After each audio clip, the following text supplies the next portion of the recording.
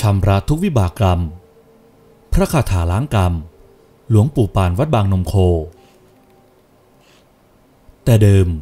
พระคาถาล้างกรรม ปรากฏอยู่ในหนังสือเล่มเก่าของวัดบางนมโค จังหวัดพระนครศรีอยุธยา และได้มีผู้นำมาเผยแพร่ เนื้อหาที่มาของพระคาถาล้างกรรม มีอยู่ว่า ใหญ่ฝืนซึ่งมีบ้านอยู่ข้างวัดบางนมโค แกชอบมาขึ้นกรรมฐาน กับหลวงปู่ปานอยู่เป็นประจำ อยู่มาวันหนึ่ง แกเล่าว่าได้มีชายสองคนนำตัวแกไปที่สำนักพญายมราช แต่เมื่อพญายมราชได้ตรวจสอบดูแล้ว ปรากฏว่านำมาผิดคน จึงให้นำส่งกลับที่เดิม ขณะเดียวกันพญายมราช ท่านได้ฝากคาถาให้กับยายฝืนนำมาถวายหลวงปู่ปาน เป็นพระคาถาล้างกรรม และมีบทกรวดน้ำโดยคาถาล้างกรรมนั้นานบอกไว้ว่า หากลูกหลานคนใด ได้สวดให้แก่บรรพบุรุษของตนเอง ก็จะสามารถบรรเทาวิบากกรรมที่ตนประสบอยู่ได้ และบทกรวดน้ำเป็นบทที่กรวดน้ำให้สัมภเวสี และดวงวิญญาณทั่วไปให้พ้นจากทุกข์ ซึ่งผลจากการสวดพระคาถาล้างกรรม และสวดบทกรวดน้ำทุกๆวัน จะทำให้กรรมหนักกลายเป็นกรรมเบา ผู้สวดพ้นทุกพ้นโศก ชีวิตมีแต่ความสุข เป็นผู้ที่มีอายุยืน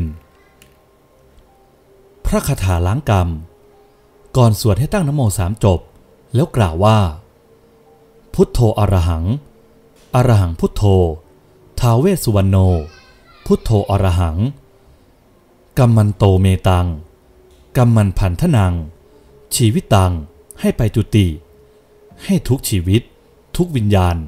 จงไปผุดไปเกิด สวดทั้งหมดสามจบ บทกรวดน้ำอีมินาบุญยกรรมเมนะ ขอเดชเดชะผลบุญกุศลที่ข้าพเจ้าอุทิศไปให้คุณบิดามารดา ญาติกาทั้งหลาย สมณชีพราหมณ์ อีกทั้งเลือดลินลา พระอินทร์เจ้าฟ้า พระโคดม พระพรหมีฤทธิ์พระอาทิตย์ พระจันทร์ พระเพชรชลูกัน พระมาตุลี พระกุงพาลี พระภูมิเจ้าที่ แม่ซื้อพันจิต พระผู้ศักดิ์สิทธิ์ที่นำข้าพเจ้ามาเกิดในท้องพระพุทธศาสนา พระแม่คงคาไหล แม่พระเพิง แม่พระพาย แม่พระชูชาติพระยายมราช ท้าวเวสสุวรรณท้าวจตุโลกบาลทั้งสี่นายสมุหาบัญชี ตัวข้าพเจ้านี้ได้กระทำผิด จะขอแผ่อุทิศไปยังฝูงผีทั้งหลาย ปิดอบายให้มั่น เปิดประตูสวรรค์ให้สว่างกระจ่างแจ้ง เกิดในเมืองมนุษย์ให้เป็นสุข เกิดในเมืองสวรรค์ให้เป็นสุข ท่านทั้งหลายที่ได้ทุกข์ ขอให้พ้นจากทุกข์ ท่านทั้งหลายที่ได้สุข ขอให้สุขยิ่งยิ่งขึ้นไป นิพพานังปัจจโยโหตุ พุทธัง ชั่วอนันตังธรรมัง ชั่วจักรวาลัง สังขัง นิพพานังปัจจโยโหตุ และพวกวิญญาณทั้งหลายยังบอกว่า ถ้าภาวนาเป็นประจำ ไม่ใช่แต่พวกเขาเท่านั้น จะพ้นจากห่วงทุกข์ ผู้สวดเองก็จะมีแต่ความสุข